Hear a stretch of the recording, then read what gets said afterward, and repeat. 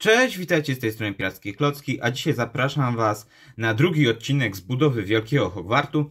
No i naprawdę wybiegłem w górę, no bo zobaczcie, na początku była tylko mm, dosłownie ta płaszczyzna, nawet za bardzo skajek, nie było chyba tylko te dwie. No a zobaczcie jak to teraz urosło, że jak na drożdżach. No w sumie teraz tak się zastanawiam, może trzeba byłoby nakręcić odcinek, jak byłem gdzieś w połowie, ale wiecie, już się uparłem, tak w dwa dni tego dokonałem, tak, to też jest według mnie dobry wynik, znaczy z postawą to trzy. No to trzy dni wybudować tyle Hogwartu uważam, że chyba niezły wynik. No szczególnie, że no wiadomo, ja nie wstawałem, nie wiem, yy, o czwartej nad ranem, żeby tylko od razu wziąć klocuszki i żeby coś budować, tylko, no wiecie, trzeba by najpierw zjeść, odpocząć, no i dopiero się zabrać za budowanie. No ale się naprawdę udało.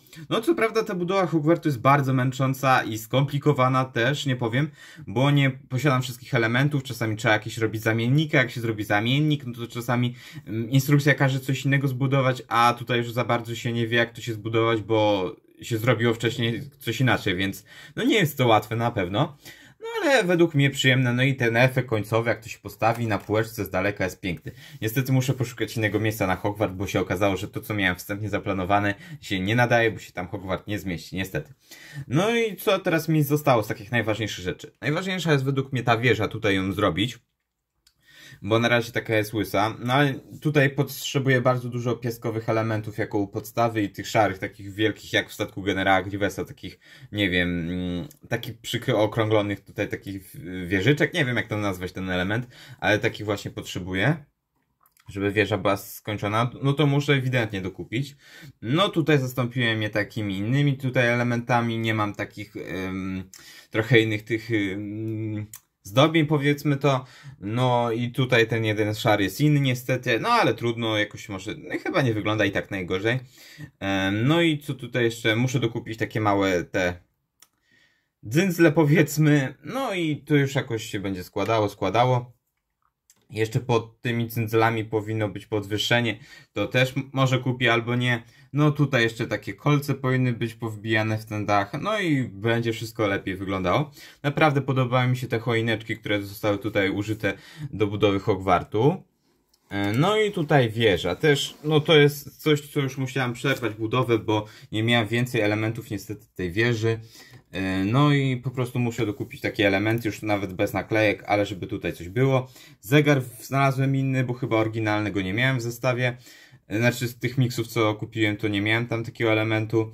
No i jak to się prezentuje, wielka sala od wewnątrz. No powiem tak, jestem zadowolony po części i nie. E, powiem tak, jak na to się tak patrzy, to według mnie ładnie. Tutaj są obrazki, będą jeszcze jakieś schodki. Tutaj są te y, wszystkie y, witraże, to fajnie tak wygląda. No ale na przykład, y, no tutaj zrobiłem po prostu, nie miałem tych elementów z tych, z logiem tych, no, bractw, czy tam nie wiem czego, mm, w Hogwarcie, więc po prostu dałem takie bez nadruku tutaj, takie flagi. No tutaj tu mm, leży bazyliszka, to już widzieliście wcześniej. No i z tej ściany jestem bardzo niezadowolony, chociaż tutaj jeszcze nie wygląda tak źle, ale mnie tutaj kują w oczy bardzo te szare elementy, a niestety bardzo kończyły mi się piaskowe potrzebne w tym kolorze, dlatego po prostu są szare. No i w sumie co my tutaj mamy więcej do omawiania? Po prostu kolejny na część budowy Hogwartu za mną. Ja teraz postaram się dokupić te elementy do tych małych wieżyczek, o do tych i do tych. No i jeszcze może trochę do tej głównej wieży, bo ona naprawdę będzie przepotężna.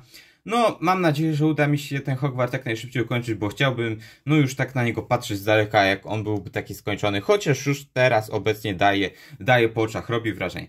Dzięki, do zobaczenia, do następnego odcinka. Cześć!